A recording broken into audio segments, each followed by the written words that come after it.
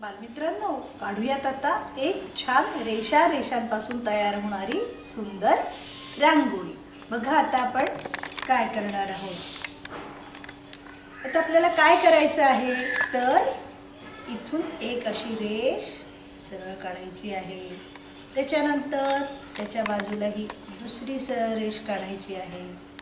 बरोबर त्याच्यामध्ये इथे अशी रेष काढायची आहे. आणि इकडून एक अशी रेष काढायची आहे.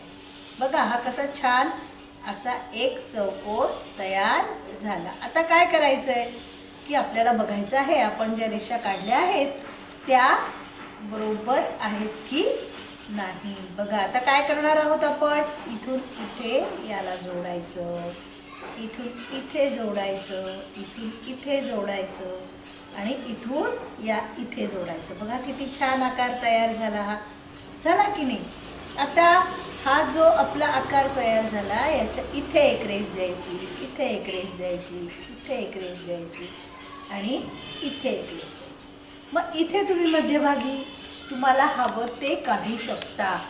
काय काढायचं मग? इथे तुम्ही ओम काढा श्री काढा स्वस्तिक काढा. आपण आता इथे स्वस्तिक काढूया बघा किती छान दिसत आहे ही रांगोळी. आपण ही रांगोळी देवापुढे पण काढू शकतो. याला आपण दोन रेषा घेऊन पण ही रांगोळी काढू शकतो. सिंगल रेष पण घेऊन काढू शकतो.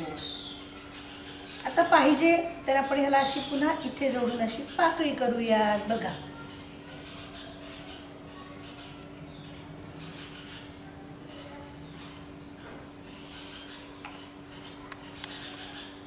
दक्षिण भारतामध्ये अशा रांगोळ्या काढण्याची पद्धत आहे.